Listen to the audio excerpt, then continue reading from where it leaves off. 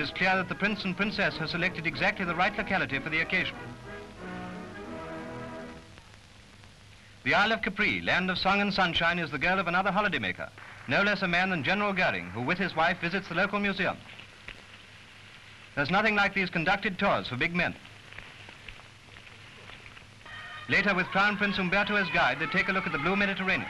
It's all very pleasant, but despite reports that Italian cooking doesn't agree with him, the general looks well. Rangoon, city of pagodas and capital of Burma, receives the last